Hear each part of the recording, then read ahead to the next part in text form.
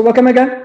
So um, let me introduce myself. My name is Erkan. I'm one of the program director, extremism and populism in ECPS. Uh, ECPS is an uh, European Center for Populism Studies. It is an independent, non-partisan uh, research organization in, based in Brussels. Uh, so we cover different aspects of the populism from global south to the north. Uh, especially, uh, we look at the populist tendencies, uh, authoritarian tendencies, which become nowadays uh, visible in every uh, continent, in every country. And we want to give a focus on to analyze, to understand, and to address also how we handle these populist and authoritarian tendencies. Um, so I will be very short. So if you want to um, find much more details about the ECPS, you may find every information about, especially about the research groups that we have uh, in our organization uh, on our uh, webpage.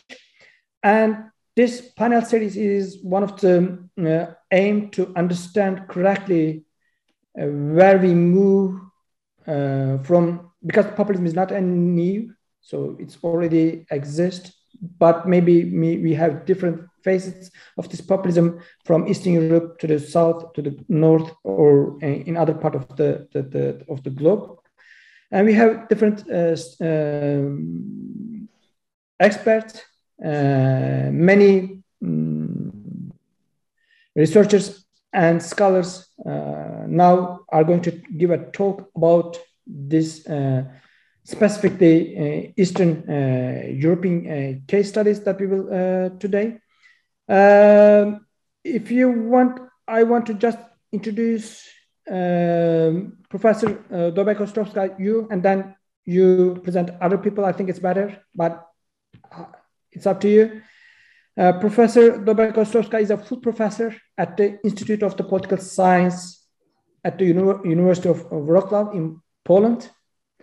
Uh, she is founder and editor of the Central European Journal of Communication uh, that I already um, read many articles from um, that journal.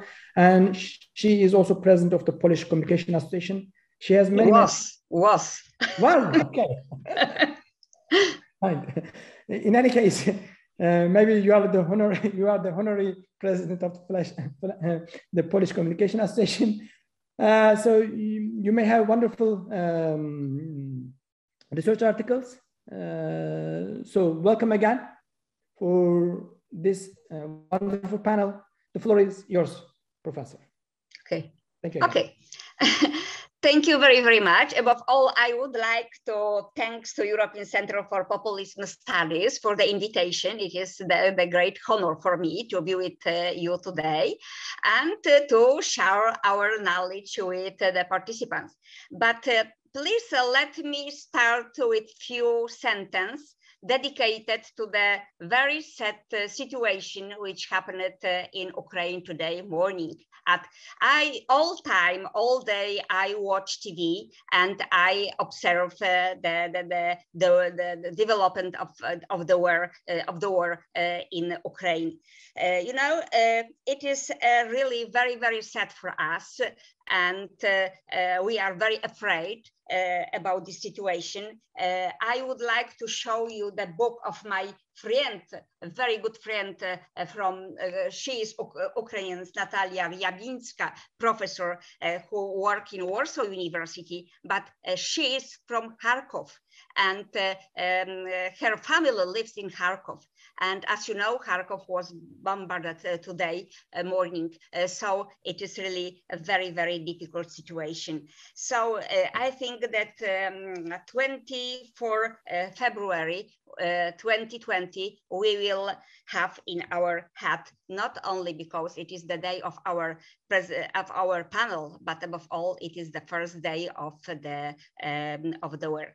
Okay, uh, so uh, I would like to tell that all Poles are with uh, Ukrainians and we support uh, them strongly during uh, this very difficult time. Okay, so but it is a time for the for our um, panel, populist authoritarian tendencies populist authoritarian tendencies in Eastern and Central Europe and challenges in the European Union. We have four participants from Uh, professors from Poland, uh, Dominika Kasprowicz, uh, Zoltan Adam from Corvinus University of Budapest, yes, and Vassilis, um, who will present us the situation in Croatia and Serbia.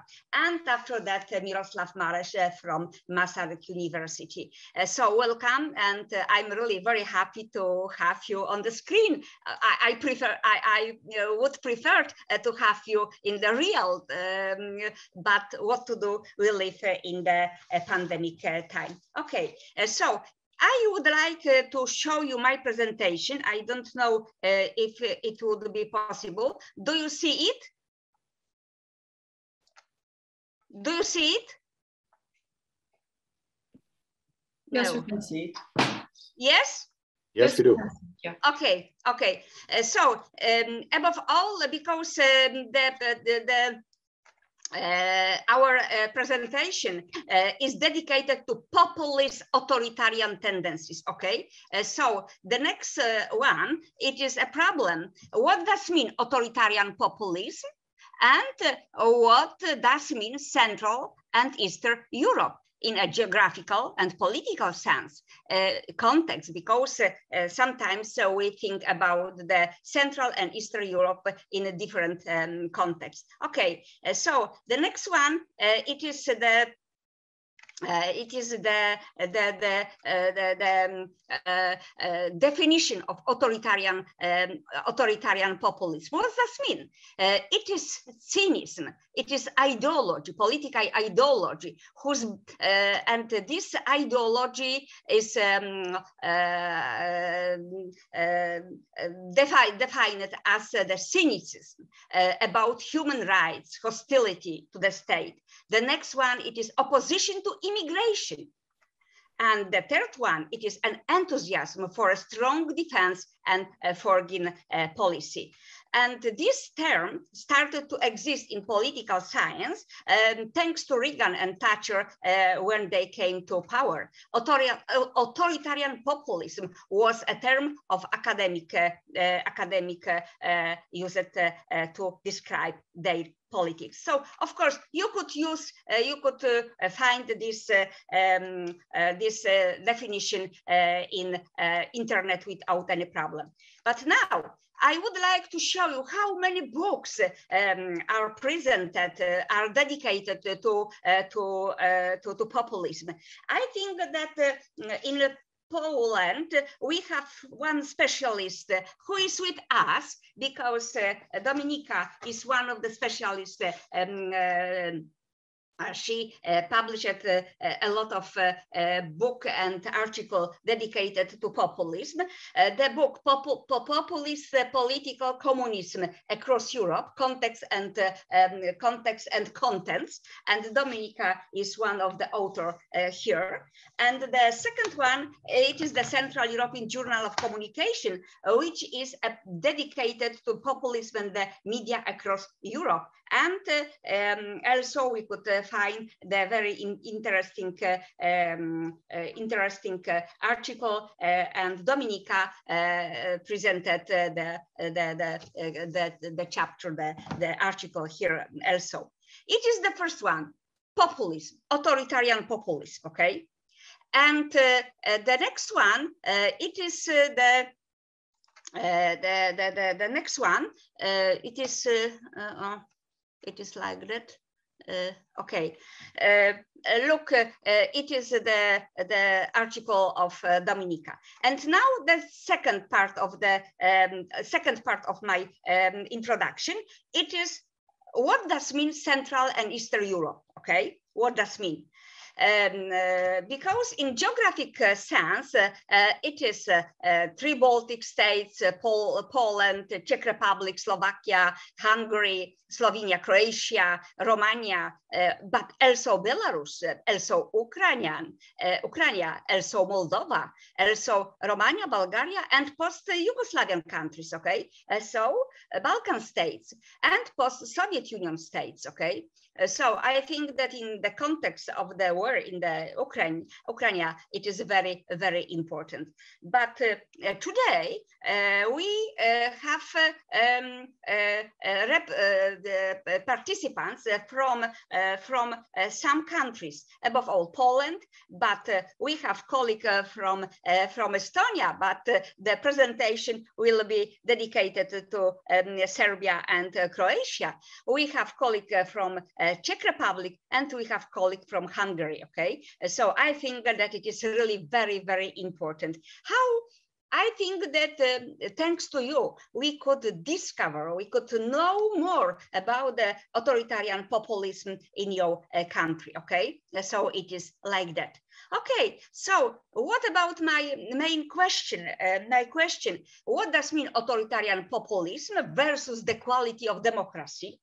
Because I think that authoritarian populism we should link and we should uh, analyze in the context of quality of democracy in CEE. And also the second one, it is authoritarian populism versus mass media freedom, how it works, okay? Uh, so the next um, slide, I show you uh, where we have uh, four uh, models of the uh, po political uh, and media system in Central and Eastern Europe, okay? Hybrid liberal where Estonia is, uh, it is the highest country, the first on the position, Czech Republic, but also politicized media, Poland, Croatia, Hungary, and Serbia, okay? so it is like that. And the, the next, the next slide, politicization of media system in Central and Eastern mm, Europe according to World Press Freedom. And to look, Czech uh, Republic is in the group of the best democracies uh, uh, in Central um, uh, and Eastern Europe. Poland, Serbia, Hungary, Croatia are um, in the uh, middle um, uh, part of this line. And the next one, look, it is the, mm, the, the, the uh, the, the, I, I showed you the country's uh, uh, democracy index in 2021 and press freedom index 2021. And look, Czech Republic, it is in the uh, group, uh, the, the highest uh, level. but look, the, the, the, situation in Czech Republic is less after, in, in compare, if we compare it with the one year and three year ago. After that, it is Poland, Croatia, Hungary, Serbia, okay? But if we think about the press freedom index, Czech Republic has a relatively high position, but not the highest, okay? After that, Croatia, Poland, and look, Hungary and Serbia are in the very, very, they have a very bad uh, position.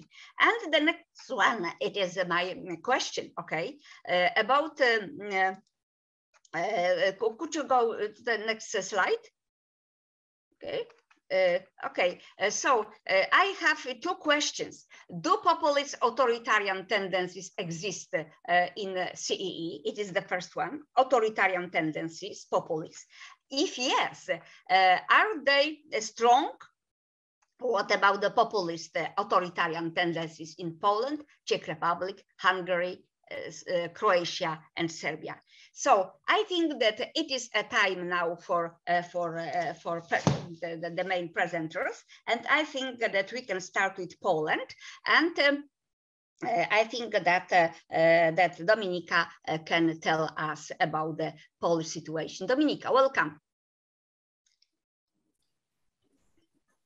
Thank you very much, Madam Professor and distinguished colleagues. I hope you hear me well. Uh, yeah. My name is Dominika Kasprowicz. Uh, I work at the Jagiellonian University and after uh, researching the phenomena of the political populism for the last 10 years, Recently, I turned and uh, according with my uh, with my colleagues, alongside with my colleagues, I turned my attention to understanding of the populist phenomena in the framework of communication or and media studies. This is something I want to elaborate on a bit later, but first of all, let me address the topic of a day. Unfortunately, uh, as it has been mentioned by Professor Dobek-Ostrowska, today is an important uh, and unfortunately unfortunately unprecedented day when the Russian um, troops uh, entered and invaded the, our neighboring country, Ukraine. And that marks, unfortunately, a, a historical uh, moment in our current uh, foreign and domestic affairs. I would like to express how much sorry, but also how much empathetic I am, we are as academic community, as the Jagiellonian University scholars, as scholars all around the world, I believe, with our colleagues and friends in Ukraine. We feel obliged to stand Alongside with you, we feel obliged to convince the allies uh, from all around the world to assist Ukraine uh, to keep its independence. Otherwise, we would not be discussing as scholars the phenomena of uh, authoritarian populism tendencies. But unfortunately, I believe we will need to discuss the uh, praxis of it uh, throughout Europe every every day. Um, but let me get back to the topic. Uh, this is the authoritarian populist tendencies. Um, uh, we cannot speak about the, uh, the tendencies, uh, authoritarian tendencies uh, in the Polish case anymore. You are all perfectly aware of the fact that uh, since 2015, um, we are observing a, a progressing and very radical political cultural and social change that is happening not only in Poland but also alongside the region the change that has been dictated and designed by the mindset that we, that we can easily uh, address as a populist one. So all the um, all the theoretical frameworks, all the theoretical features that we normally teach as the one that distinguishes the populist phenomena are there, are here actually. So uh, um, claim to the people the anti-elitistic rhetoric, the radical tactic in terms of pursuing the political change. We see it, we experience it, and uh, uh, mm, at this point, uh, we do not have much of an alternative for it. When turning into the communicative um, uh, aspects of the of the populism, I realized that uh, for us scholars, for us publicists as well, um, mm, and for us citizens, it offers an alternative and quite in-depth um, let's say, framework to, to work with the uh, everyday political praxis of Poland, but also of other countries. Why? Because um, unlike, unlike uh, 10 years ago or 15 years ago, when the populist studies were developing, um, now the populist communicate is actually very visible, but also very influential on large scale. Uh, just to remind you about the research that has been done, quite a big comparative international research that has been done in 2019 with colleagues from other 11 countries.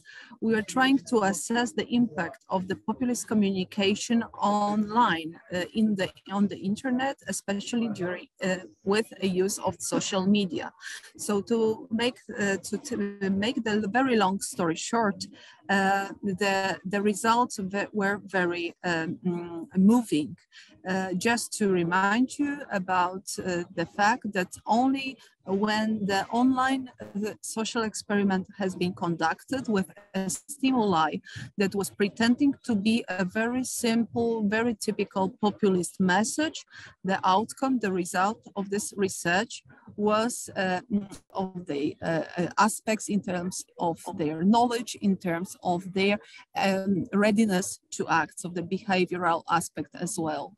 Mm, this was the research uh, mm, that has been done on not a representative but quite a large uh, sample of over one uh, uh 16,000 uh, um, uh, respondents and has been described in the book that was mentioned by Boguslawa later.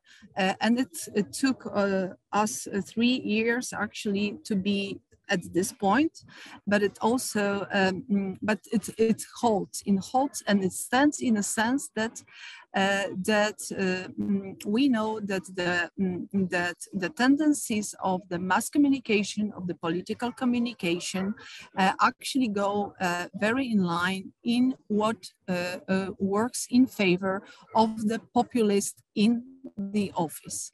Uh, this is as to the uh, as to the populism uh, understood as communication uh, style and praxis. When getting back to the Polish case, of course, I am sure you are all aware of the ongoing political developments in Poland and the fact that the very careful designed, I believe, political radical uh, change that started a few years ago by the Law and Justice Party has almost has almost been concluded. Um, all three features of the populist um, appeal of the populist ideology, if you like, uh, were there in place. Uh, what actually is uh, in contrast to what the scholars would uh, expect is actually the fact that this party, this populist uh, party, is still in power and the popular mm, support for it is not so much uh, uh, decreasing. Uh, why it's uh, possible? Of course, uh, there are uh, plenty of direction when we can find an, a partial answer to this question, to this phenomena. But let me turn your attention to at least two points. Of course, populist and Law and Justice Party in Poland is one of the examples, is appealing to the people. And this appeal in the Polish case has proven to be uh, extremely efficient. It was uh, because um, the Justice Party message was actually filling in the niche, filling in the void that has been left by the neoliberal or liberal central centrist parties mm, uh, that were governing before. There were uh, quite of a, a, big share of the population that has been, let's say, left behind. So-called losers of transformation was a very fertile ground to receive and to flourish on the background given by the Law and Justice Party in terms of their message. But it also uh, goes uh, in line with the political praxis. So the, the so-called welfare chauvinism we know from the books, but actually that proven to be very efficient in case of the of the Polish uh, population and the Polish scenario. What we uh, understood and understand by the welfare chauvinism, of course, is this a very picky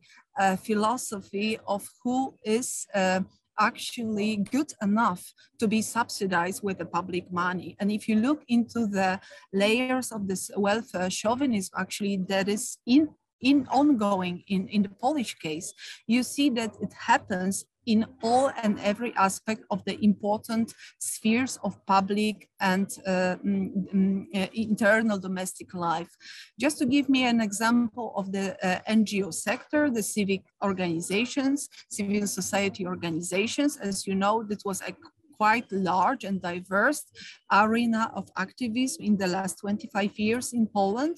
If you look into the number, you would see a, a, a decreasing number of this organization, basically because uh, in the last few years, the public money debt, unfortunately, was uh, one and only for many cases uh, a reason, uh, not a reason, but a fuel um, to, to keep these NGOs going actually was cut off. Of course, it has been this arena of the NG, so-called NGO grassroots organization has been gradually supplemented by the new ones that are more in favor of the public eye.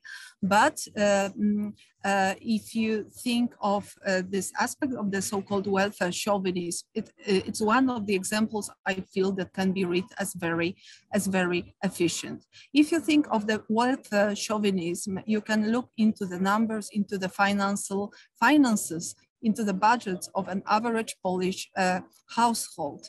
Uh, and you see, if you, if you would look into one and uh, mm, into a gradual economic reforms or social reforms that has been implemented by the government, you would understand that they were not only carefully designed in terms of the public spending and, and balancing the budget at all. It were more designed and oriented towards the particular target groups, the strong social strongholds that are the most highly likely to be the Law and Justice Party and its allies' uh, biggest supporters and electorates in the, the, the past, but also the forthcoming, the forthcoming um, mm, uh, elections.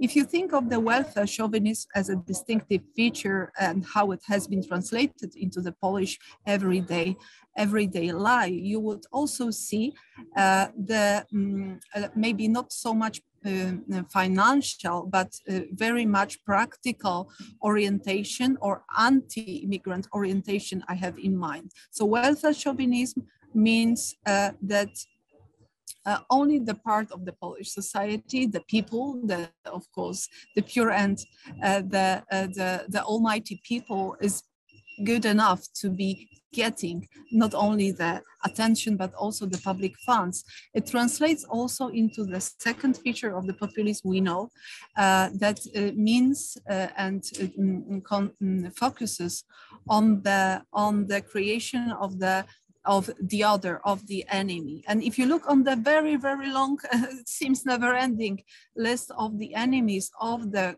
currently governing uh, mm, um, political uh, elite in Poland, it's, uh, you will very uh, shortly understand that this is a, this is a, a, a quite, uh, I would say, not only efficient, but also interesting phenomena, because what we are used to is the fact that the populist parties and populists are targeting and are against the ruling elites.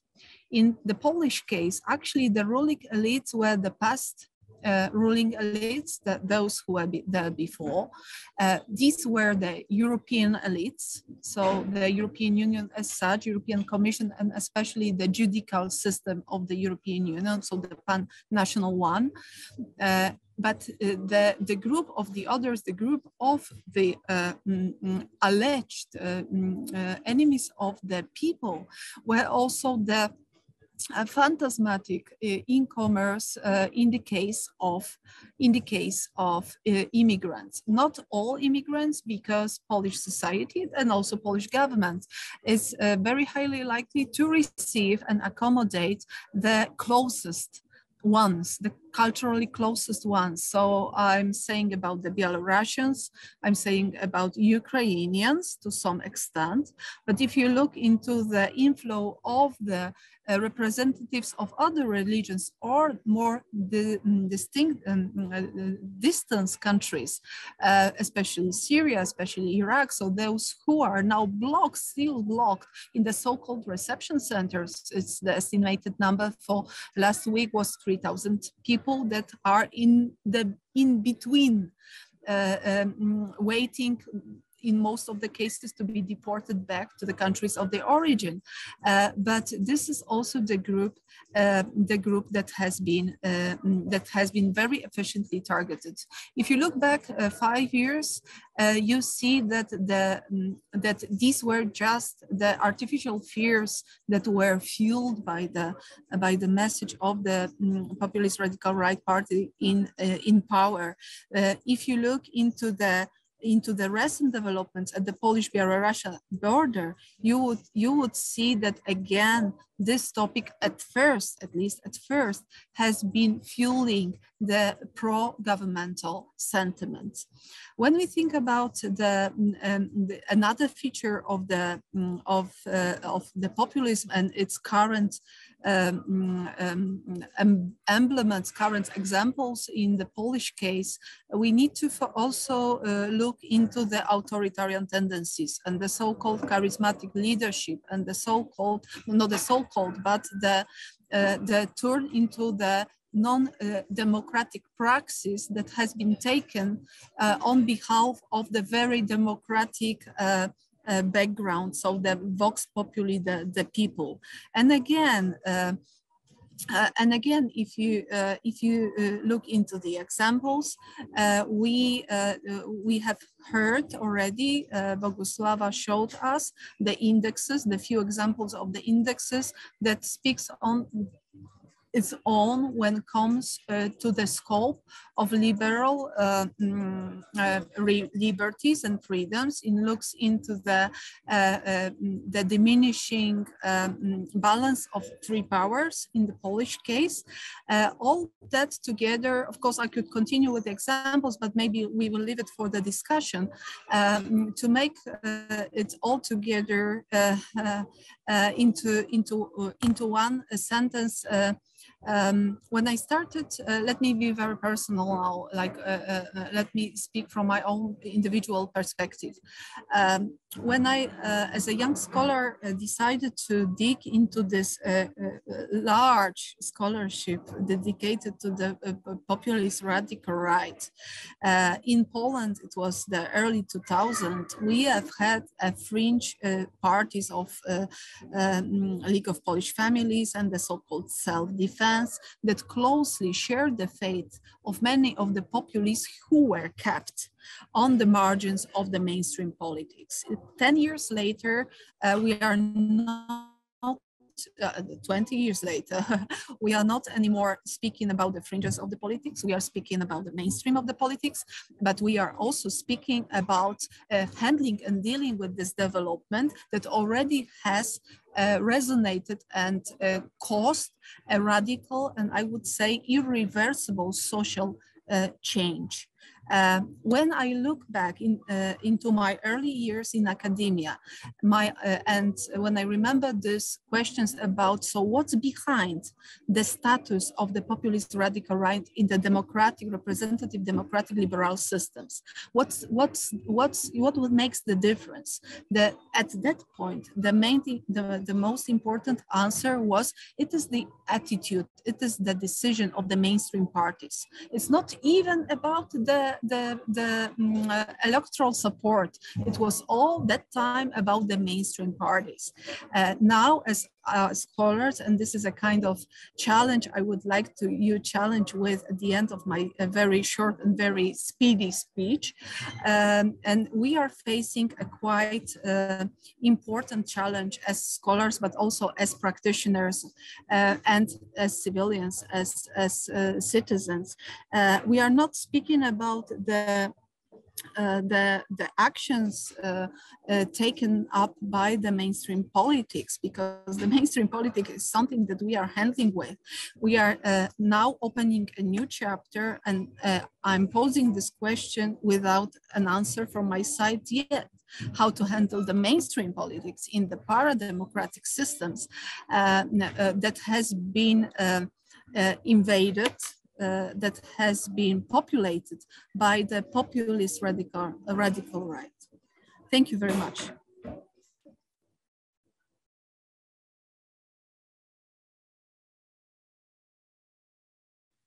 Uh, Boguslawa, you have to open mic, microphone. Microphone, please.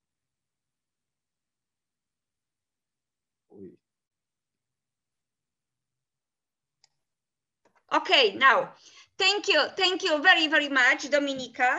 And uh, now it is a time to go to, uh, to, uh, to Hungary. And uh, um, the Orban regime, after 12 years after the April 2022 general election. And uh, Zoltan, welcome. So thanks a lot. Thank you very much. Thanks for the invitation. It's a great pleasure of mine to be here. Of course, I, I, I agree with Boguslawa that this is a very sad day indeed yeah. in the world history, I would say, and definitely in the European uh, part of the world, we are watching um, with uh, great fear, I guess, what's going on in Ukraine. So, so I just would like to express my own solidarity towards all those who are being in danger right now uh, on the other side of the border. Actually, today Hungary is is is once again a country uh, one of its uh, uh, neighbors are waging a war. Uh, that was a in, in, the 1990s, that was the case during the Yugoslavian wars. And now once, once again, we, have, so to speak, war in next door, which is quite a dramatic development. Um, okay, so let's turn to, to populism. And, uh, and I just want to say that uh, I, I, I'm very honored to be here and I'm, I'm, I just would like to welcome the, the existence of this research institute. I think it's a great development that you guys did set it up. Uh, and I'm personally very grateful to be invited to, to, to be part of this project. So thanks a lot. And at this point, I try to share my screen.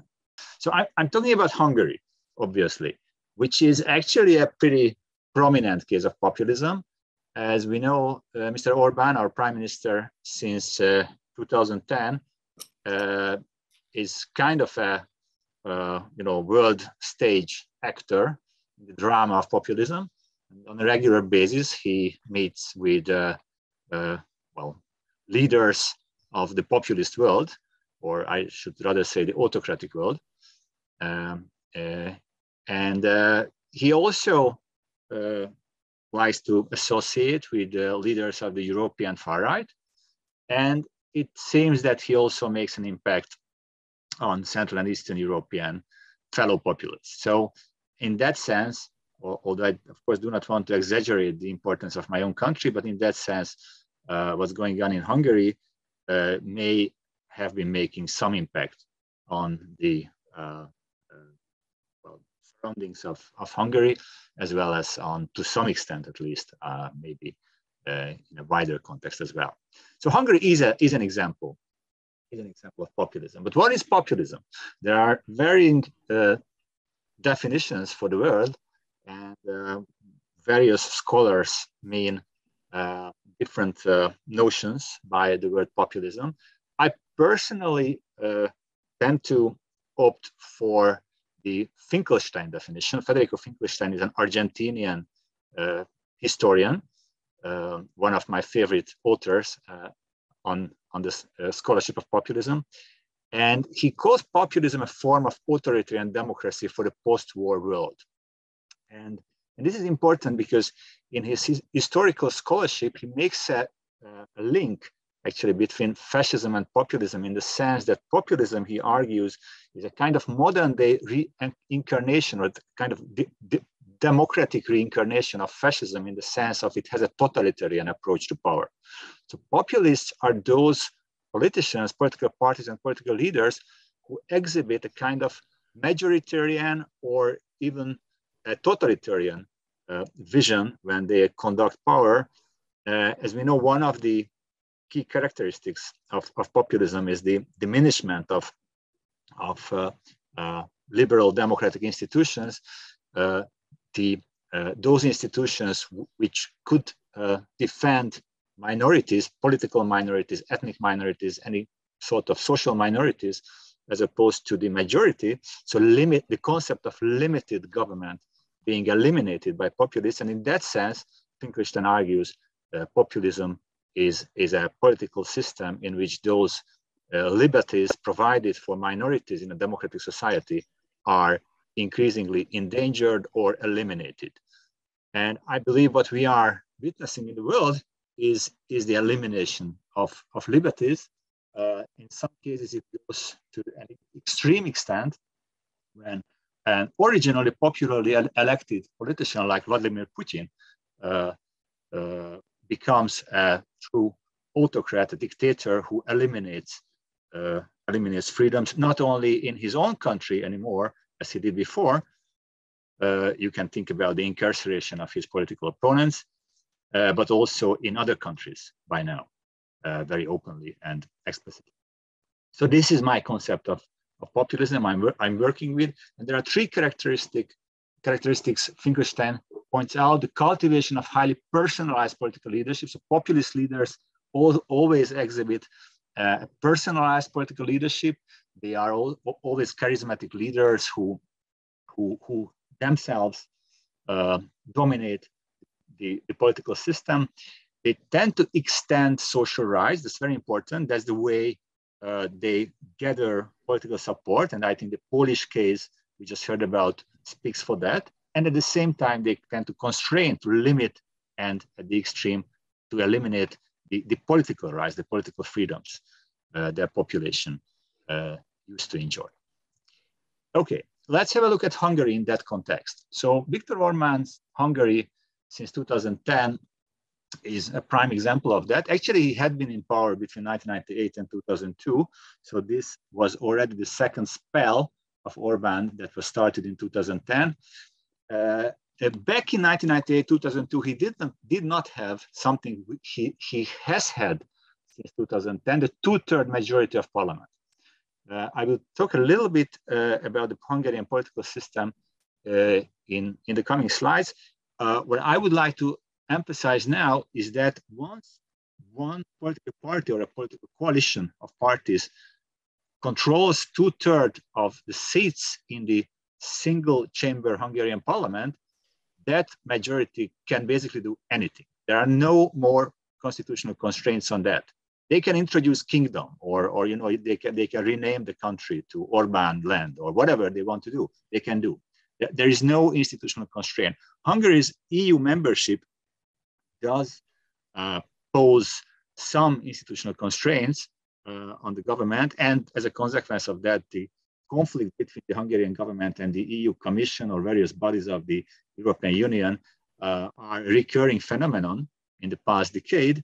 But apart from that, uh, there is no domestic authority that, that is not controlled by, by the governing majority. And this is a ripe land, a ripe soil, so to speak, for this kind of totalitarian approach uh, to power populists tend to exhibit. Uh, as a consequence of that, Hungarian democratic standards have been steadily declining in the past decade. And I can show you some graphs of on that. On the left-hand side, you see the Freedom House world aggregate scores for the quality of democracy. You see a market decline since 2014 and, and actually a decline already before that.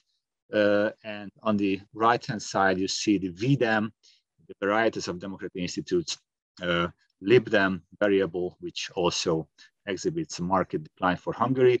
Uh, the other lines are aggregates of uh, groups of Central and Eastern Euro European countries. So the Baltic trees, the three Baltic countries, uh, average, the CE4 is the average of the Czech Republic, Slovakia, uh, Slovenia, and uh, and uh, and those include the Polish one. Sorry, of, of, course, the, the the fourth the fourth one is the Polish, and the CE3 is the Croatian uh, Romanian and Bulgarian. So against these benchmarks, against these comparators, Hungary exhibits market decline in its quality of democracy. Uh, you can also compare a country's democratic development the quality of its democracy to its economic level of development. Uh, and this is what I did on these uh, slides. I, I constructed these scatter plots, uh, uh, uh, you know, examining the the uh, the, the, relationship between uh, uh, per capita GDP at PPP standards, taking the log scales on the horizontal axis and the V-Dem liberal democracy index on the vertical axis. axis. And what you can see is that whereas Hungary was above the trend line, so performed politically in terms of its democratic qualities better than one could ex expect uh, given the, the, global trend, trend line, this is a global trend line, up until 2010. After 2010, the last elections took place in 2018. So I picked 2018. It fell below the trend line. So compared to Hungary's economic level of development, Hungary underperforms uh, in terms of its democratic qualities. Um, and why is that? Uh, one can one can ask. Uh, in what sense Hungary is different? But of course, this is a very complex issue, and I cannot give you a full answer to that question. Actually, I do not know a full answer to that question, of course. I'm not that smart. But one characteristic uh, of Hungary that is kind of suspicious in that, in that context, I would argue, is the exclusive nature of the Hungarian political system. So this is what I referred to when I said that with a two-third majority, you can do anything in Hungary, and actually you can attain a two-third majority at Hungarian elections. So if you do not have strong opponents, uh, with a simple majority, so the Fidesz received 53% of the overall vote back in 2010, and about 46% in 2014, and a, and a little less than 50% in 2018. And all three times, uh, it was translated into two-thirds of the majority of seats in parliament. So, so that's that's one one very important uh, element of the story. And and why is that? Well, the, what I, I sh show you here now is this so-called Gallagher index. The Gallagher index measures the discrepancy between votes received and parliamentary seats controlled by particular political parties. The Hungarian electoral system exhibits a very high degree of this kind of discrepancy. It's a, it's a distortion, highly distortionary electoral system. And, and that, that, that, is, that is an important part uh, or potentially at least seems to be an important part. It's more distortionary than any other uh, any other political uh, electoral system. Our prime minister is a kind of uh, hero of global populism. I also discussed the Finchelstein definition of populism, and I told you that uh, having a two-third majority in Hungarian parliament means quite a lot. I also uh, discussed the declining democratic performance of Hungary in terms of Freedom House Index and V-Dem, uh, liberal democracy index. And I uh, discussed the relationship between economic development and the quality of democracy. And I said that in that respect, Hungary has fallen a lot to, uh, in the 2010s. Uh, I said that one of the potential explanatory factors behind this kind of unique performance of Hungary is a, is a feature of, of the Hungarian political system, namely the exclusive nature, the distortionary nature, I, I would say, of the Hungarian electoral system, which, which uh, permits one dominant political party to control uh, two-thirds of, of, the, of, of, of, the parliamentary seats in extreme situation. And it actually did happen throughout the 2010s, also using a kind of manufactured electoral system by uh, this majority. This is the so-called Gallagher index, and you can see on the right that Hungary has increased in that distortionariness uh, of its electoral system throughout the 19, uh, towards the 2010s. Uh, I was to compare uh, the old style economic populism that prevailed before 2010 and exhibited by the Hungarian left with the right wing, increasingly authoritarian way of populism that Fidesz exhibited after 2010. I will not do that now because I don't have time for that.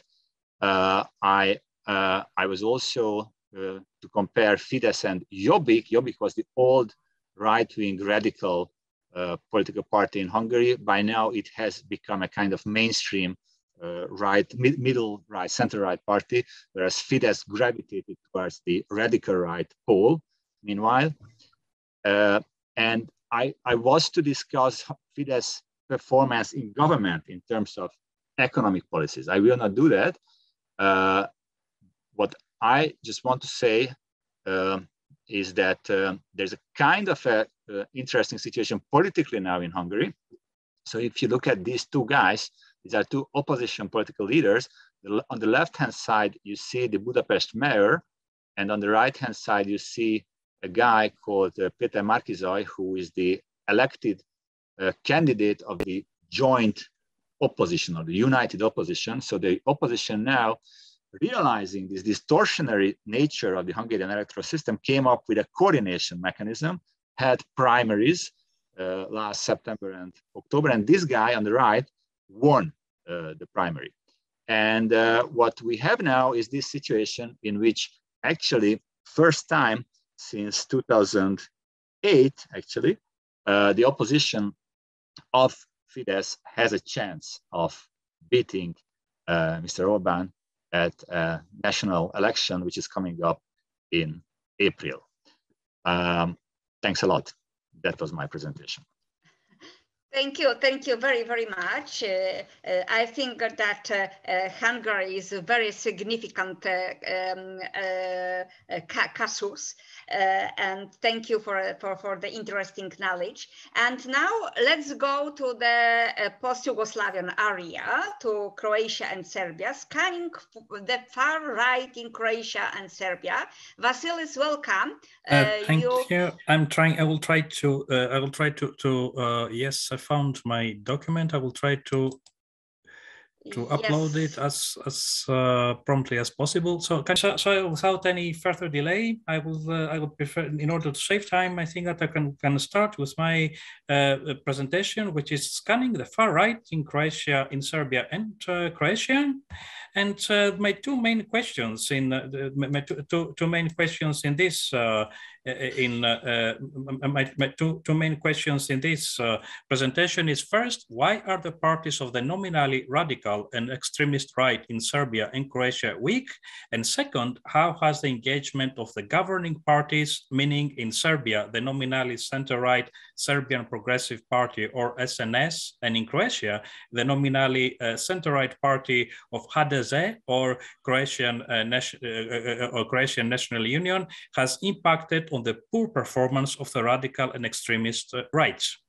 And starting with a little bit of theory, I would like to make uh, a, distinct, a tentative distinction between radical and extremist right, right-wing uh, parties on the basis mainly of their political origins and active political uh, engagements. So on the one hand, I would like to make, I have sketched out two categories.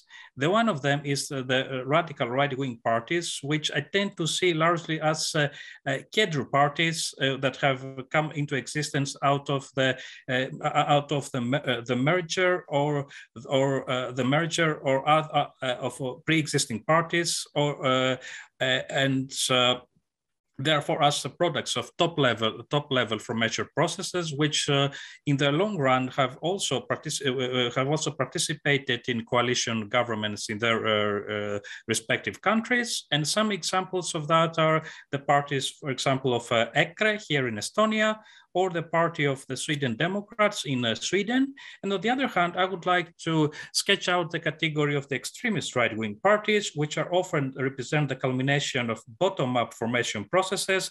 They are, they are more prone to, uh, uh, to a militant uh, uh, engagement into politics uh, through mass systematic mass mobilization and pattern of patterns of policy making that often harbor anti-democratic implications and some examples uh, can be, for, instance, uh, the uh, early Jobbik in Hungary, the party of our Slovakia, Naše Slovensko, led by Marian Kotleba, or, or also the case of Golden Dawn in Greece.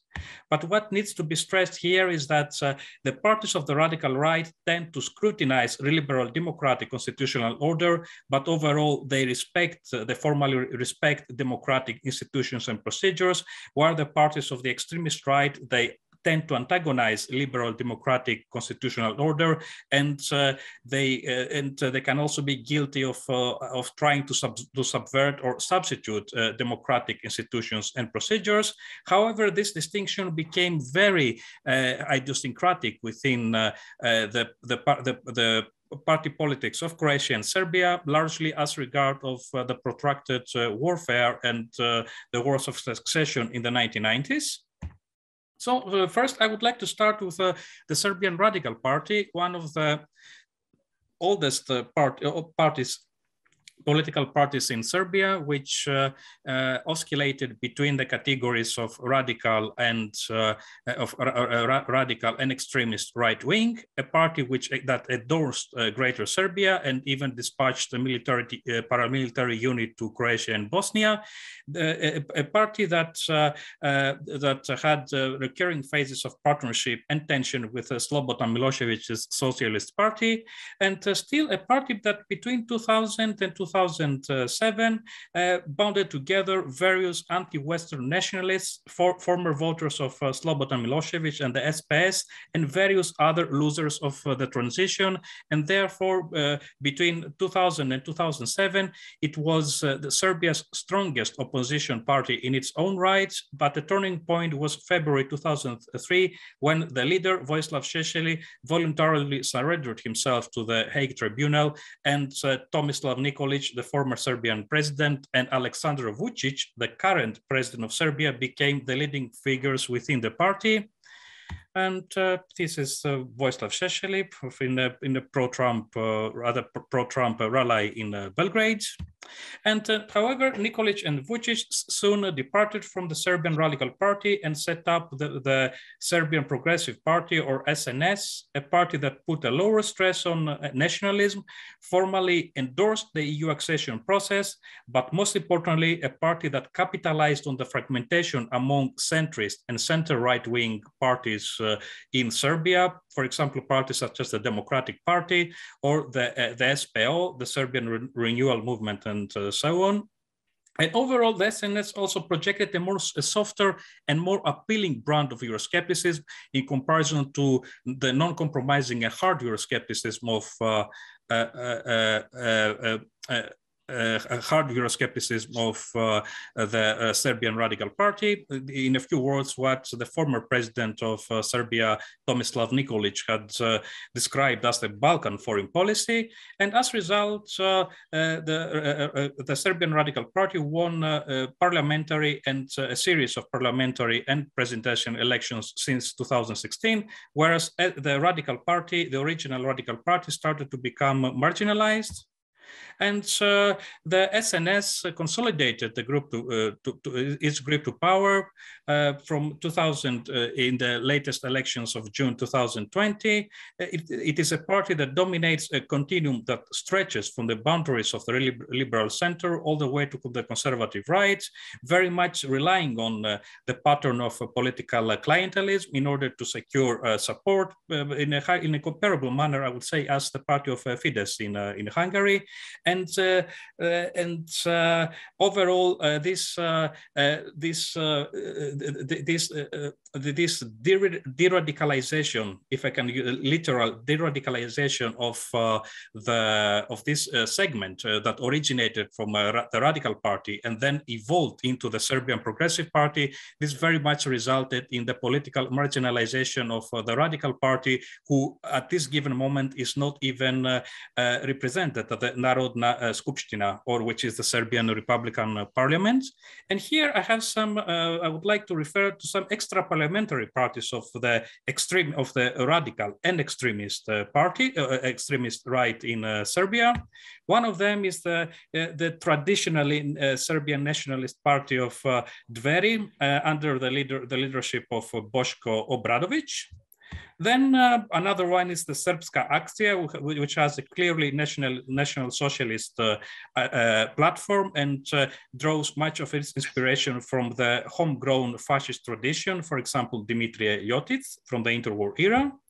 Then we have some very peculiar hybrid cases, for example, Leviathan, who blend elements from National Socialism with uh, animal rights activism and anti-vax conspiracy theories.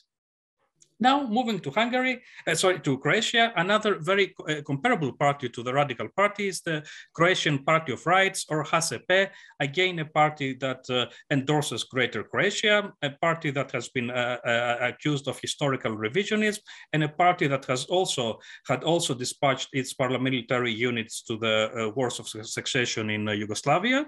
Uh, but uh, this is also, but by contrast, the Serbian Radical Party, uh, this party saw a phase of declining popularity during the uh, 2000s. Uh, it, it, tried to get back into into action be, uh, between 2012 and to, to 2012 and 2014, when first it coordinated the protests against the public use of the Serb Cyrillic script in Eastern Slavonia, and especially the town of Vukovar on the border with Serbia, and also Uh, between 2013 and 2014 when it joins Catholic uh, Church NGOs in uh, demonstrations for the protection of Christian mar marriage and family values. But this party has not been represented in the, Croatian parliament or Sabor for years and currently only controls two općine or municipalities in Croatia. And here is a co commemorative plaque of the of the of the uh, of that uh, HSP uh, dedicated to its uh, uh paramilitary unit. Uh, this also uh, it's, it also you can also read the Ustaše slogan "Zadom spremni," ready for the homeland, a commemorative plaque and a monument which is in the vicinity of the Jasenovac concentration camp in Western Slavonia. But uh, here again, we have, as in Serbia, there was a process of uh, reformation as the Croatian Democratic Union uh, started uh, consolidating its, uh, its uh, status.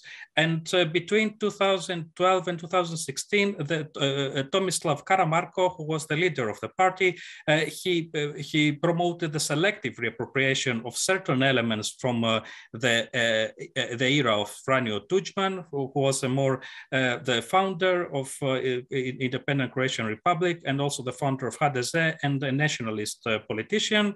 And therefore this consolidated, uh, uh, this consolidated the status of the right-wing faction within HDZ, eh?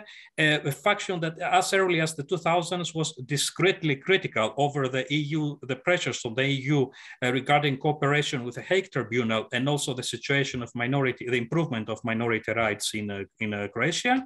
And also between 2012 and 2016, this right-wing faction also displayed elements of socio-cultural Euroscepticism with a specific focus on opposition to the rights for sexual minorities, abortion, opposition to abortion, and also, and also to a certain extent opposition to the EU refugee quotas since 2015. And this, this, this political engagement of the right-wing faction between the, the ruling party of HDZ decisively marginalized the forces of the Croatian uh, radical and extremist party, for example, the HCP or the Croatian uh, Pure Party of Rights or the, autonom the, or the autochthonous uh, Croatian Party of Rights. I can speak, I can uh, provide some more information about them uh, during the, dis the discussion.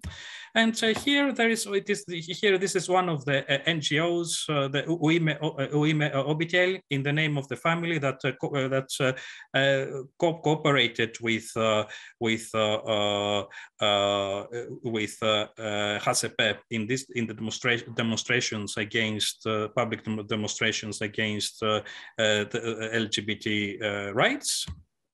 And uh, uh, just like SNS in uh, Serbia, HDZ has consolidated its grip to power following the parliamentary elections of July 2020 in Croatia. Again, a party that largely relies uh, on political clientelism and a countrywide network of supporters in the public sector for its support. And uh, as, as previously mentioned, uh, the, the, the political engagement of the right-wing faction within the party has been of pivotal significance in order to maintain the cohesion of its uh, target groups and supporters, especially in the more socially conservative uh, uh, layers of the electorate, for example, in regions such as Dalmatia and Slavonia. But uh, there has also been a new party that emerged to the right of uh, HDZ. This is the Domovinski Pokret or the Homeland Movement, which is currently the third uh, largest party of the Croatian uh, parliament, led by Miroslav Škoro, a former singer and TV host. Now, this is uh, this party endorses a national conservative agenda, which is uh, very, very much comparable to that endorsed by the right-wing faction within HDZ. For example, a stress on Catholic values, against abortion,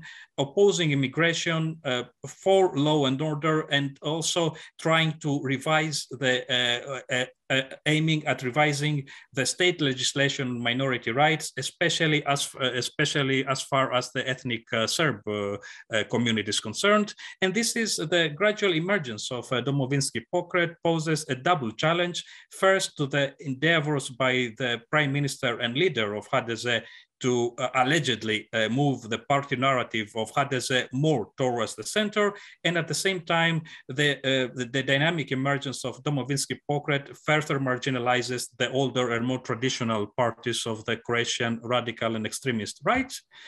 This is Miroslav uh, Škoro from one of his older in one of his older uh, albums. And just a few my final remarks. First, the de-radicalization in the case of uh, Serbia or the long-term transfer transformation processes in the case of uh, Croatia of larger mainstream parties of the conservative right, for example, SNS and HDZ, can uh, uh, uh, did sideline the, the, the more the parties of the more, uh, more radical and extremist right in both uh, contexts in Croatia and Serbia. And uh, with specific regard to the case of uh, Croatia, the emergence of the homeland movement has may may offset even further this balance as it is a party that antagonizes both the right-wing faction faction of HDZ and also the political forces of the radical and extremist right. So with this older photo from Pula in Istria in Croatia, I would like to thank you for your attention and I'm looking forward to your comments and questions. Okay. Thank you very much, Vassilis. It was really very interesting. And you introduced a very interesting uh, concept, neo-Euro-Asianism.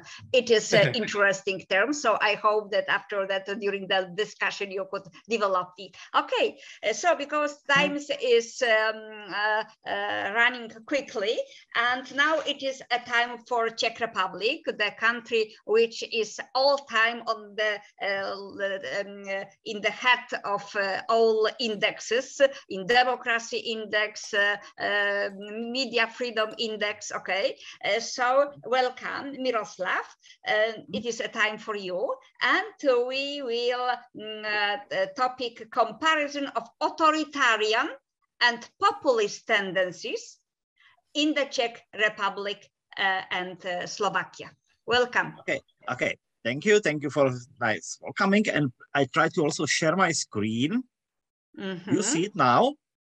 No. Yes. No. No. Oh yes, yes, yes, yes, yes. Yes, I'm sorry. Okay, so yes, yeah. Yes. Okay, yes. so now I try to enlarge it now. Great. So thank you.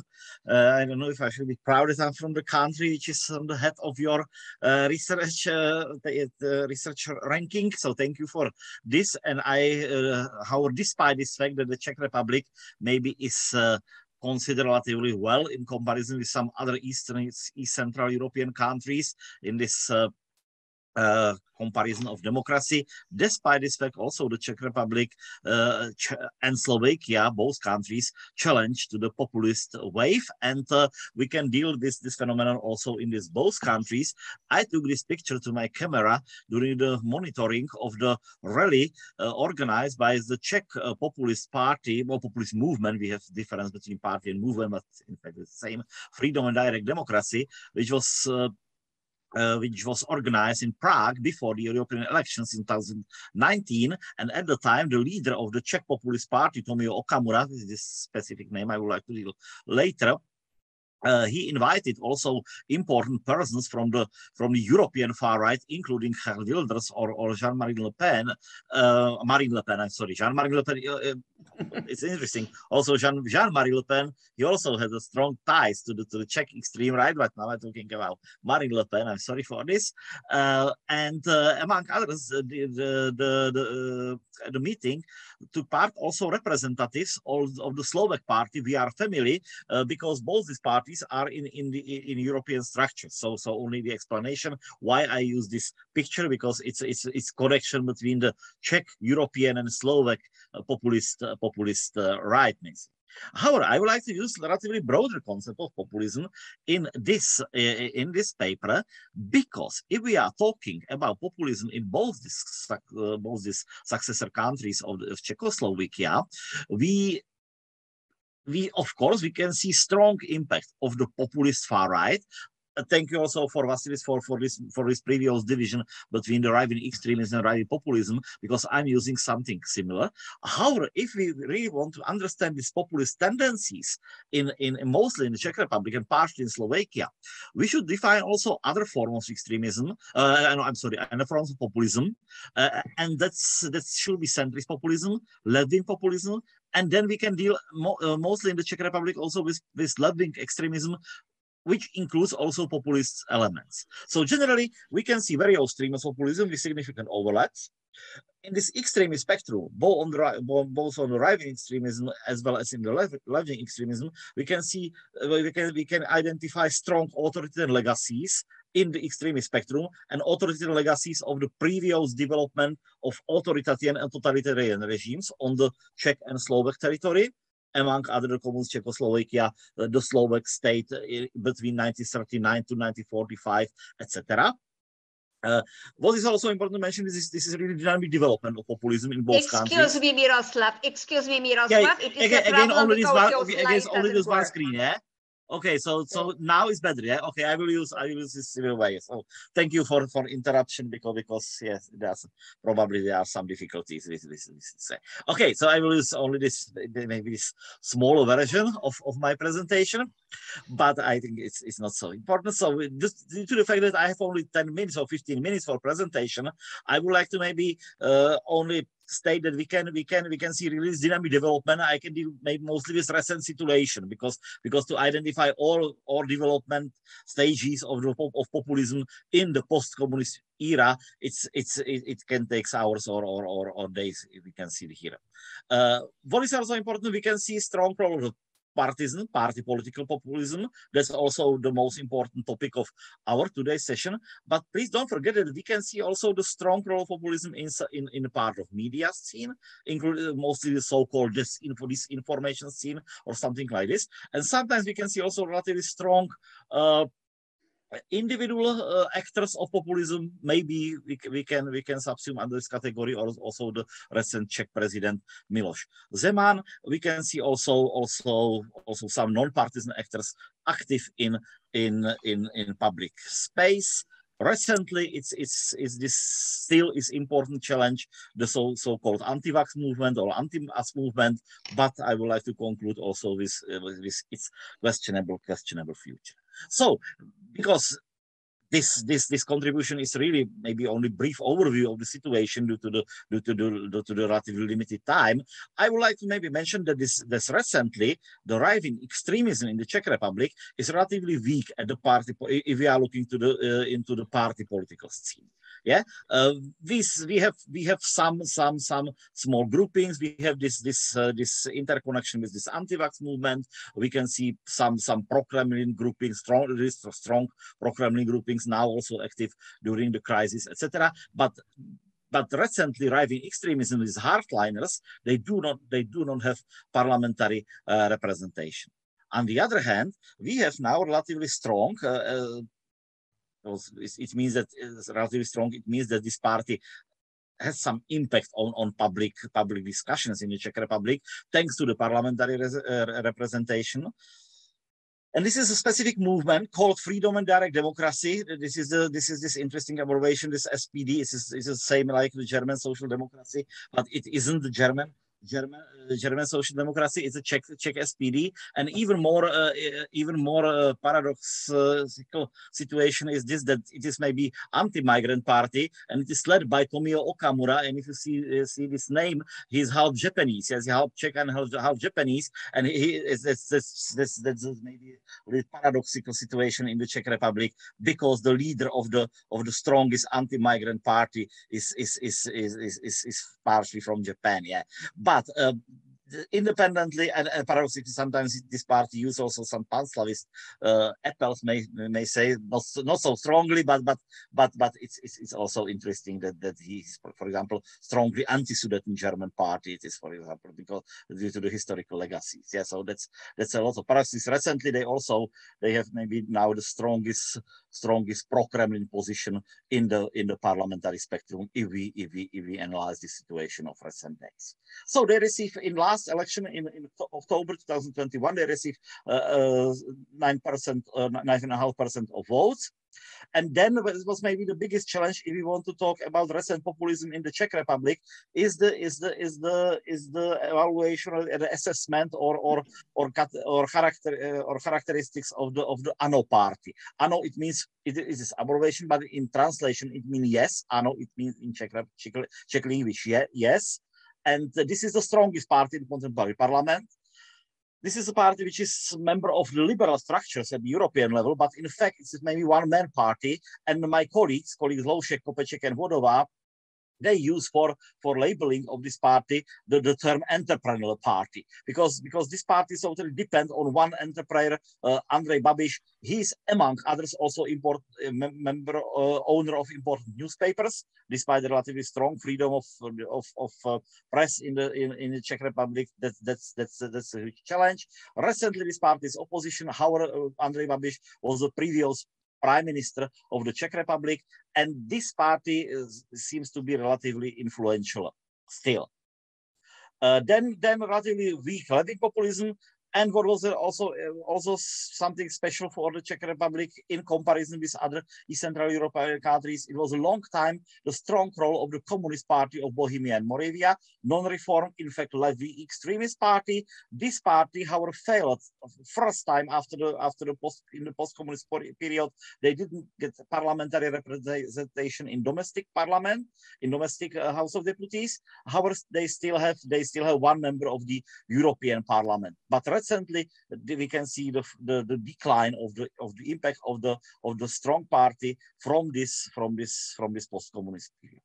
If you look to the Slovakia, uh, on the other hand, uh, in, in, in contrast to the Czech Republic, we can see relatively strong party uh, with really and they are really the so-called hardliners within the far right extreme spectrum. Already, Vassilis to, uh, said something about this party because they, they are really uh, they are really rooted in this in this in this maybe neo-fascist movement despite some moderation in, in last years maybe but still still the origin of the party is closely connected with with, with this with the subcultural subcultural environment etc uh, uh, they they they receive they receive uh, 8% of votes in 2020. However, last year, some members of the party split, split it from the split from this from this uh, from this Kotlebas party. Is uh, is really the, the, the, official name of the party. Kotlebas People's Party, our Slovakia. Kotleba is a leader, and Kotlebas it means they are, they are supporters of Kotleba. So Kotleb, Kotlebovci, when I say it in Slovak language, Kotlebovci, uh, Kotlebovci ľudová strana naše Slovensko. Now now it was for for Slavic speaking. Uh, colleagues, it can be maybe more understandable I'm sorry for, for the others. Uh, to the others, I'm sorry. Uh, so then, then we can see also the party which may be national conservative. This party we are familiar. This is a this is a partners party of the of the SPD in this in, in this European structure. They are now governmental party or, or, or, this party are family again it is closely connected with one person with boris, boris Kollár against entrepreneur uh, important entrepreneur in slovakia. And also we can we can subsume under this category the extra parliamentary slovak national party and they receive three percent in in elections not 2021 i'm sorry but 2020 it's it's my it's it's it's wrong uh, is, is my fault. I'm sorry for this. Yeah. So then then we have question if, if we can subsume some something under the centrist populism, maybe several parties, maybe you know, maybe maybe it's it's it's uh, it's a uh, uh, empty space in Slovakia. It depends on, on definition. Uh, however, you can see relatively strong left-wing populism, despite the fact that the party Smer, it means something like orientation. Social democracy is a member of the socialist uh, international structures and European Social Democratic Party or Party of European Socialists, uh, they they they they can be subsumed under this form under this uh, category of of left-wing populism. However, uh, they receive they receive 18% uh, of votes in 2020. Recently, however, they they they are weakened due to the fact that one split party, uh, new party, is, is stronger than than than this Smer. So recently they are in opposition. What is what is in Slovakia? We, it's it's, it's a non-partisan scene. Maybe that, that this specific category of extremism can be occupied by one person. this is a very important um, deputy deputy of this of this Smer party, Luboš Blaha, and he, he, is well known due to due to his sympathies to some left wing extreme extremist entities. So if I should compare and conclude, uh, we can see the strongest position of centrist populism in the Czech Republic and left-wing populism in, in, this, in Slovakia. I'm sorry, here's, uh, here's uh, again my mistake. So I rewrite you before your eyes. Yeah. Yeah, so now it's correct. I'm sorry for my mistake. So, so, so living in Slovakia, we can see we can see relatively strong right-wing populism in both countries, despite the fact that this the, the, the it's uh, the, the, the ideological position of both uh, and background of both parties is a little bit different if I compare the SPD and and Sme Rodina. Uh, then we can see strong right-wing extremism in the Czech Republic. Uh, in in against I'm sorry, he, I, I I don't know what's happened, but I have here another mistake. So so we can see in Slovakia, strong right-wing extremism. I'm really, really sorry. I don't know why I was blind, probably. Uh, not in not in the Czech Republic. So I'm sorry. And uh, I'm sorry for this. And uh, after successful era of right-wing extremism, we can see decline now also in the Czech Republic. And we can see also maybe transfer of these traditional authoritarian parties with this link to authoritarian and totalitarian regimes in the in the in, in this tragical era of the 20th century. We can see now probably decline of these parties and the rise of this new of this new populism. Uh, what is also important to mention that this spectrum, this populist extreme and extremist spectrum in both countries is relatively unstable. We can see the rise and and and, and fall many new subjects in, for example, uh, we, can, we can identify in the, in the development uh, of last uh, 10 or 20 years. Uh, last two years, we saw also the, the, strong interconnection with this anti-vax movement. I took this picture also in my home city, Brno, during one rally of the anti-vax movement. How among among the participants is, for example, leader of one of these Czech uh, right-wing extremist party, relatively unimportant Workers' Party of Social Justice. Uh, but uh, and that's that's maybe symbolize this this interconnection between far right and this anti-vax movement. But uh, it could be challenged. What's going to be in the future? Especially in this post-COVID era, after the maybe after this party, maybe you can see that they can lose this this this relatively well relatively popular topic. However, we are now in storm stormy uh, era. We don't know what's happened with, with the war in Ukraine and and uh, wave of uh, wave of refugees, etc. It can be again full for some of this right-wing populist, right-wing extremist party. For example, this SPD party now, uh, you know, now yesterday published one one strong attack against the against the acceptance of, of migrants. So so so still we have we, we, are real. I don't know. Unfortunately, we live in such difficult era, and uh, it can be also from the scientific point of view, it can be interesting from the point of view of research, and authoritarian tendencies. Thank you for your attention. Oh, Thank you. Thank you very, very much. Uh, so we have exactly 30 minutes only for our discussion, but uh, it was really very interesting presentation. They were very interesting presentation because now I discovered that we have uh, some important uh, uh, concept, populism, and what about difference with authoritarian populism, centrist mm -hmm. populism, okay. Right uh, right uh, wing uh, populism. We have uh, uh, neo euro euroasianism uh, they are a new categories, uh, very important, I think, in the context of our um, uh, in, in our panel. Okay, so I think that now it is a time for for a question. Maybe somebody from the participant would like to ask our um, presenters. If not, I don't see. I would like to ask a question. Yes, please. Yes, uh, thank you very much for these uh, interesting presentations, and I hope uh, we will have a fruitful discussions in the, this Q&A session. My question is uh, for Professor Miroslav Mareš, the last uh, panelist. Uh, you know, the, for the past decade, populists like Andrej Babiš have often seemed politically invincible or undefeatable. However, last autumn, a wide range of political parties in the Czech Republic could come together, despite their all differences, to oppose the populist Prime Minister Babiš. Do you think that Babiš' defeat, which followed the defeat of Donald Trump in the United States, suggests that the populist wave is receding, stalled by the growing unity of its opponents, what lessons should be opposition parties in the countries under illiberal autocracies like Turkey, Hungary, Poland, etc., take from this experience in Czech Republic? Could opposition parties and groups in these countries hope to duplicate the feat? Thank you. Thank you very much. Um, maybe it, it is uh, better to answer for this question. Miroslav, could you answer?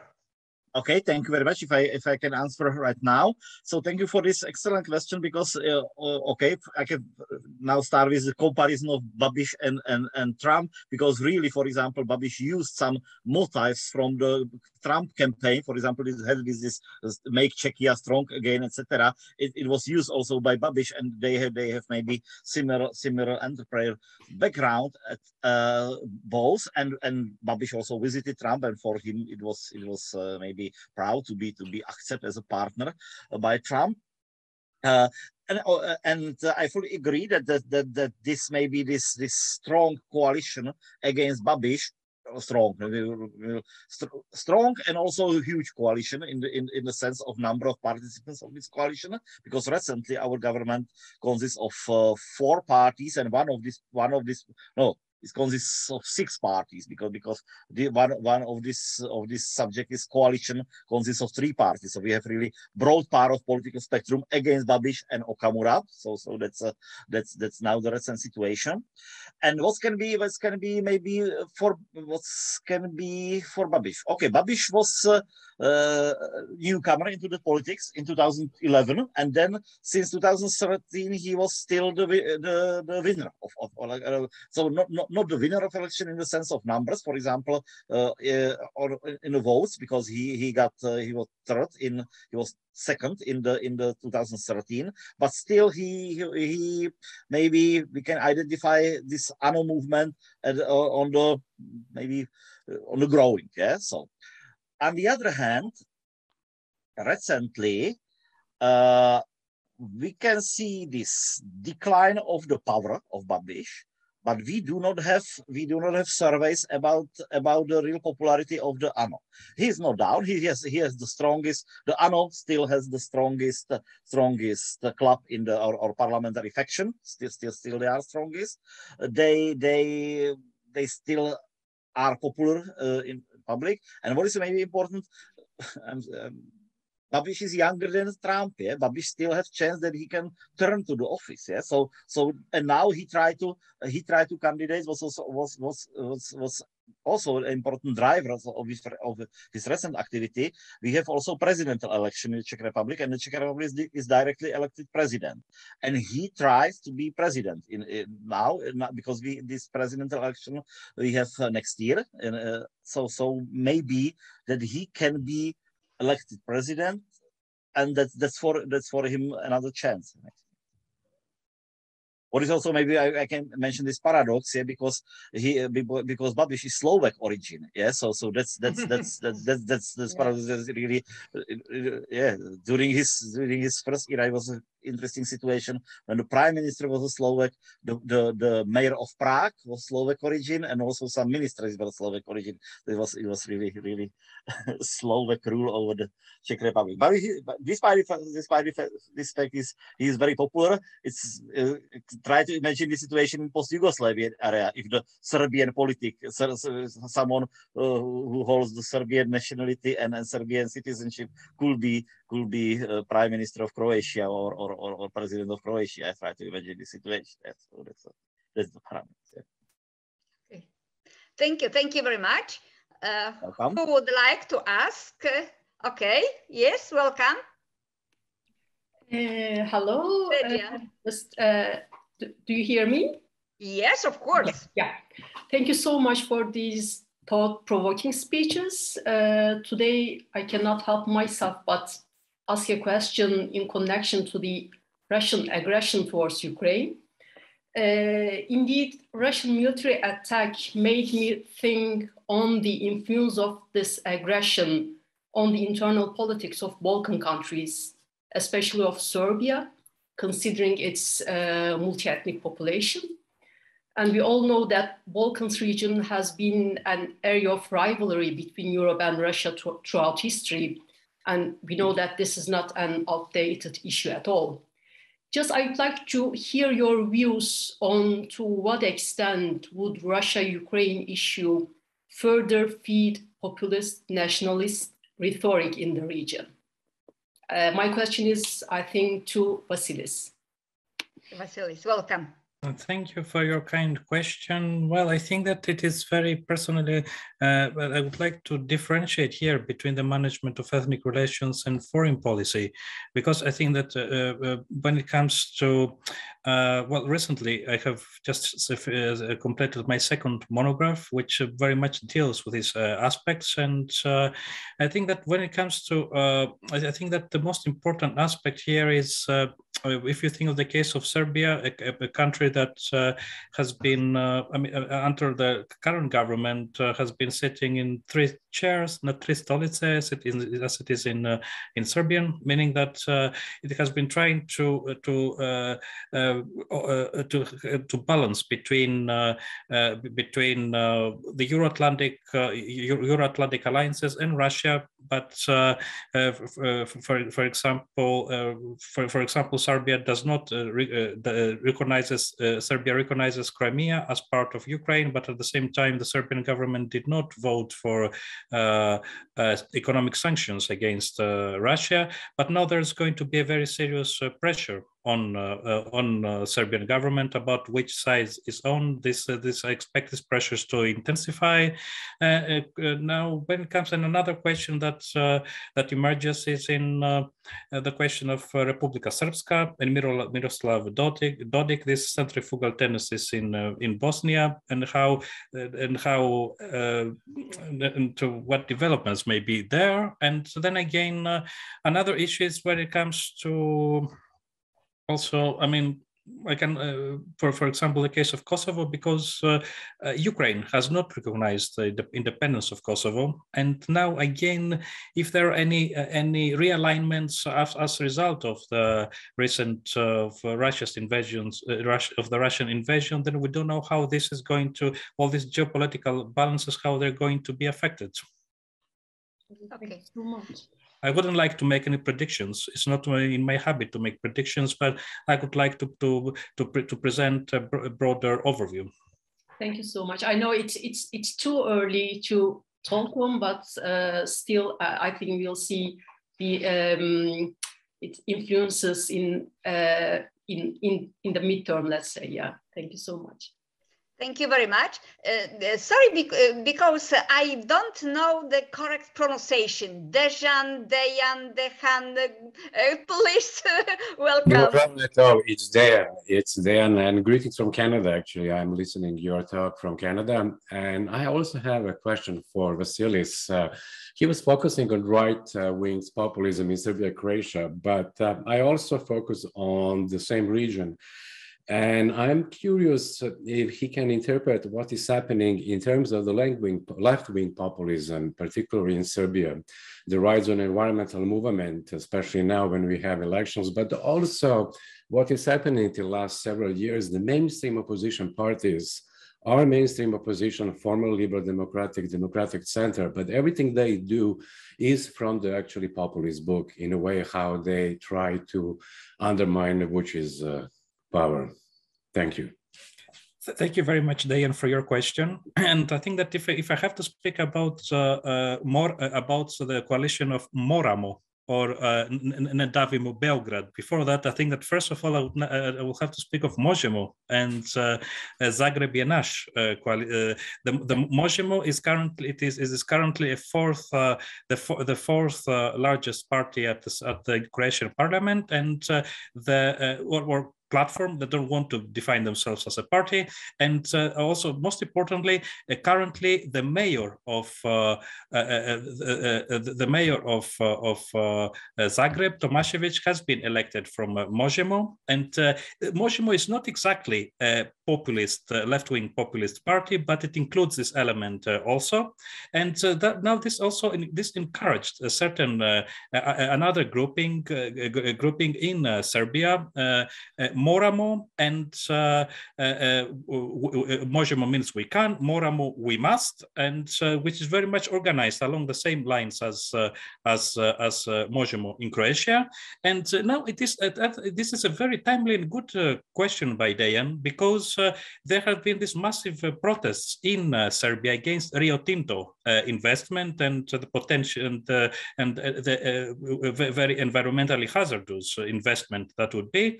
And so there were mass protests. And I think that this can provide, we'll have to wait and see, but I think that this definitely provides a good, uh, a, good uh, ground for grassroots opposition of this sort in Serbia and the emergence of a more up-to-date variant of, uh, of an umbrella uh, Uh, movement, which uh, uh, contains elements of left-wing populism, but also envi environmentalists and other activists.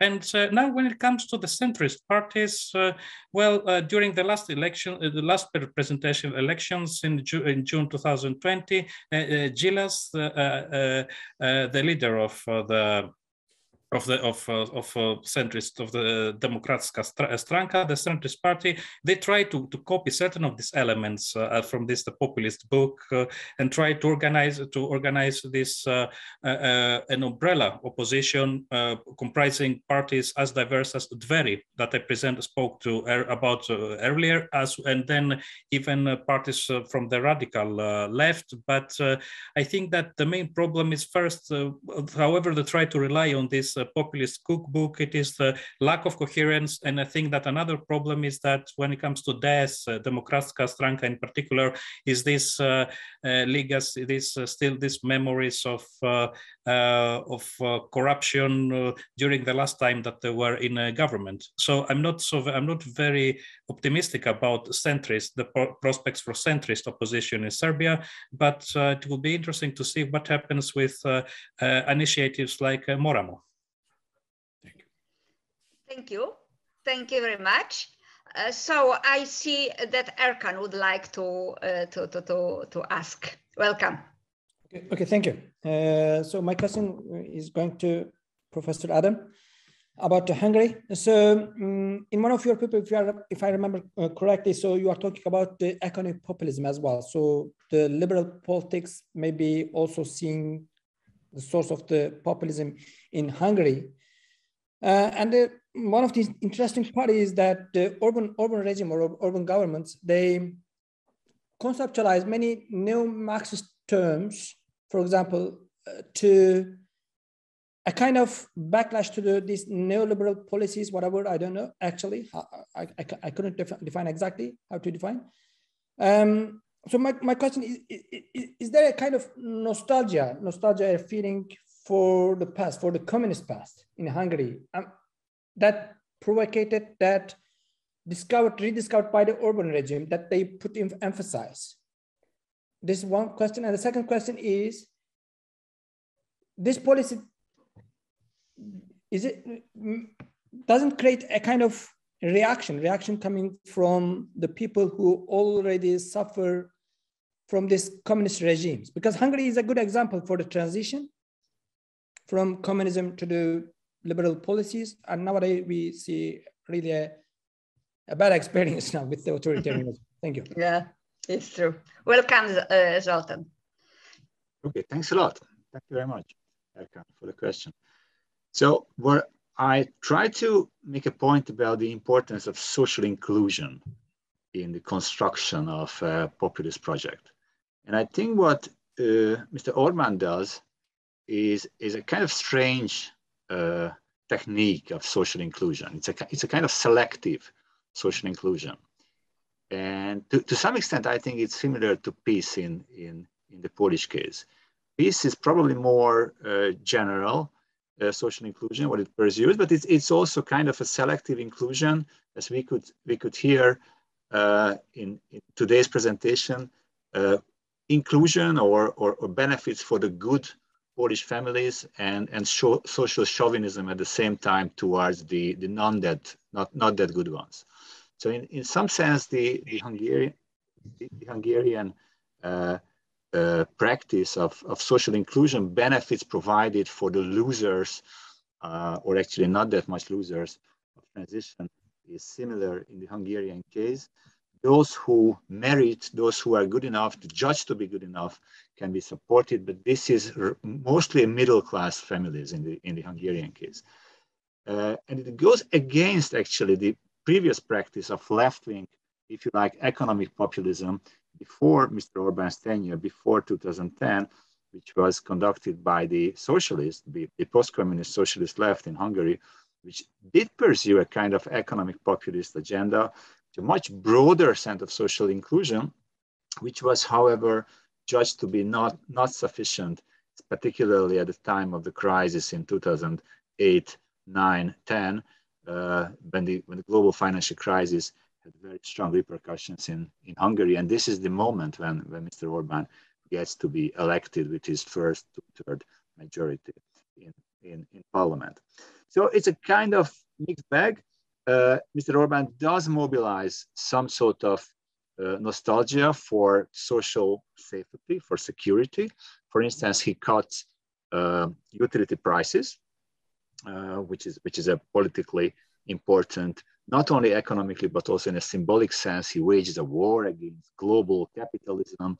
Uh, he nationalizes some industries and, and he, he makes this, this selection of good Hungarian families and those who merit, those, those who are worth of being supported and those who are not that much worth of, for instance, the Roma uh, tend to be not that much worth of being supported. Although I wouldn't say that there's an openly racist conduct of social policies, but many social policy techniques actually do prefer Hungarian non-Roma middle-class families and the poor, typically poorer uh, Roma families with more kids are, are, are not preferred by, by social policies.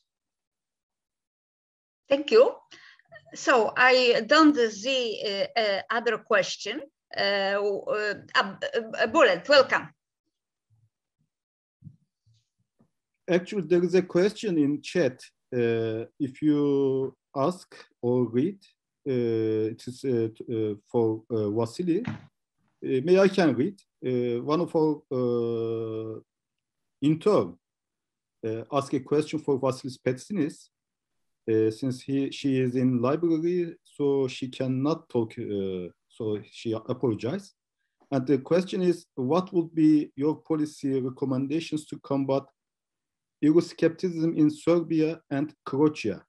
Yes, I just read it. I just read it right now. Well, I don't know. I don't. I cannot really make any uh, any policy recommendations as such, but uh, but I can explain what are the reasons uh, for that.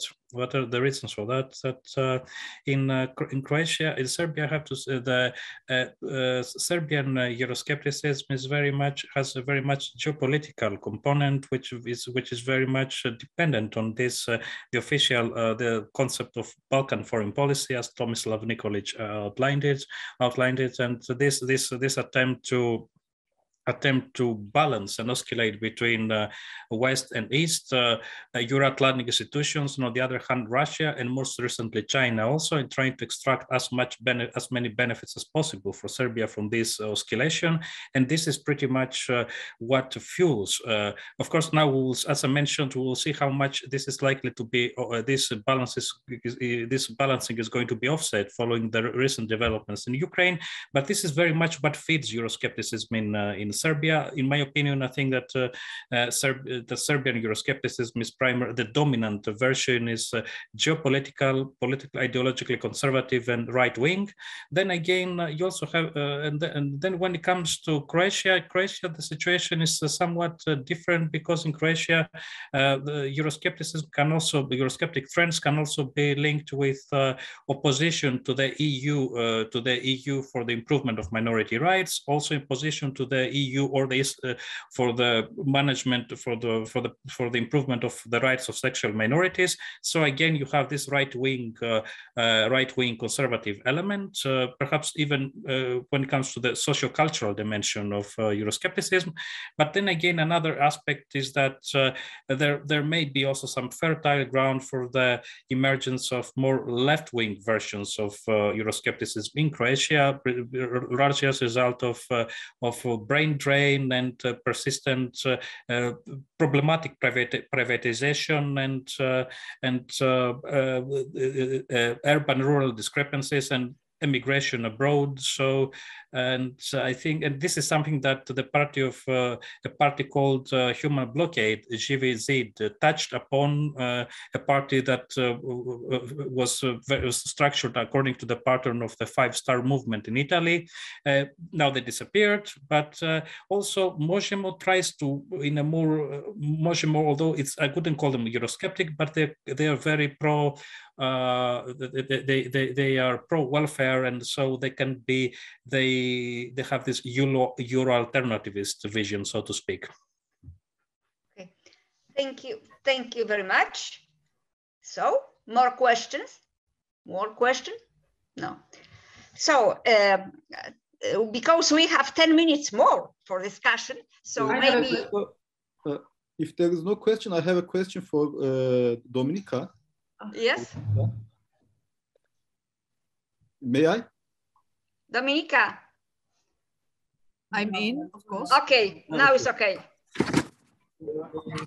Thank you very much. Uh, as you know, uh, the Poland is now building a wall uh, along its Belarus border, as Slovenia and Hungary uh, did along their own borders with Croatia. What do you think about the policy of build, building walls on borders? Do you feel that this policy, which is followed by numbers of populist governments in Europe, including Law and Justice Party in Poland, is extremely pro protectionist? Isn't this policy against the European Union ideals such as free movement of people, service, and goods, protecting environment, preserving nature and wildlife across Europe? And also taking the recent Polish case into your considerations, do you see any direct or indirect correlations between building walls on the borders and illiberal policies followed by authoritarian populist regimes on wide range of issues? Thank you. Welcome, Dominika. It is time for you. uh, thank you very much for the question. And uh, uh, what to say when we think of a populist mindset. Uh, it equals to us to the dichotomic um, vision of the world. And I believe that building up the walls or the fences, as it is in case of Poland at this moment, it's a, a very sad embodiment of this concept, uh, the theory that is uh, uh, unintentionally even put into practice. I mean, this mindset, the black and, uh, and white and us versus the others. Um, you asked about the relation or interlinkage between uh, this aspect of the current Polish uh, foreign affairs and the European Union. As you know, this dance macabre between the Polish government and the uh, European Union officials, it's now been lasting for a while on one hand, of course, uh, it's, uh, uh, I mean, the membership in the EU is still having the majority of uh, those in favor in the Polish society. On the other hand, European Union, especially the judicial um, uh, institutions, the courts, and um, are being seen as uh, one of the biggest threats to the cohesion and efficiency of the ongoing populist radical right reform by the law and justice government. Uh, you uh, were uh, asking about the, the, the defense walls, I mean, the, the walls and the fences at the border. Um, also, in terms of, uh, of the European values and the European, um, let's say, rules. Uh, we all know that uh, European Union itself, uh, and I will be very gentle, uh, saying that it presents an ambiguous stance toward the e-commerce. Uh, we saw it, we experienced it uh, all over the European Union, and it's not different uh, in the Polish case. Uh, uh, because I'm active also in the NGO sector, uh, and on daily basis we work with the issue of human rights and immigrants and and also the, the cultural diplomacy um, um, area activities. Uh, I must say that uh, for many reasons, also the European, also the European Union uh, officials' stance was very, um, mm, for me personally, uh, was very disappointing in a sense that um, mm, uh, on one hand, of course, the rhetoric is is uh, let's say according to the core European values. On the other hand, when you look into the practice, uh, we saw uh, mm, the actions taken by the European uh, Union, by the MPs as well, that were actually in line with this very, let's say, uh, um, strict and very populist uh, policy of the Polish government when it comes to sorting out the refugee crisis at the Polish at the Polish border. Uh, uh, please, if you can ask me a bit more de detailed question, I will be happy to to to answer because it was quite a wide area you were referring to. Yeah, thank you. Uh, okay, thank you. Thank you. And the next question from you, uh, Welcome. Just, I have a quick question to Zoltan. I would like to hear your personal view on EU's approach to the rise of uh, authoritarian tendencies uh, in Hungary. because uh, what I have seen uh, is that EU has been trying to find a balance between solidarity and unity of the union and its democratic aspirations and there are a lot of criticisms uh, on its approaches. I would like to hear your personal uh, opinion on that. Okay. Okay. Welcome. Go ahead. Thanks, thanks a lot for the question. It's, it's another super interesting question. I think in the EU, there has been a major transformation of, uh, of the policy line towards Hungary and the kind of outlier status of, um, of, of the Hungarian government vis-a-vis -vis EU, the, the, the, the, mainstream EU, EU political stance. The, most recently, Hungary was the, the last country that signed the uh, common EU uh, stance with respect to Russia and Ukraine, just to give you an example. I think one of the major reasons for that was uh, Mr. Orban's role in EPP. So obviously, when Fidesz was a constitutive part of the European People's Party, the, the, the, strongest and, and as such most important European political party group, then uh, it was a kind of balancing act. It was a kind of a tightrope, a tightrope uh, balancing act between being critical and at the same time keeping Orban within EPP. And once Orban is out of EPP, this, the, the entire situation is different. And now I think the EU uh, quite openly and obviously use him as a, as a threat, uh, as a kind of um, source of uh, centrifugal tendencies within the uh, within the group. And I think the the most of the effort from the EU now is oriented towards trying to control him and trying to punish the Hungarian government and and try to, to to enforce common European standards on the practice of the Hungarian government now. Okay, thank you. Because I think that we are close uh, to the end.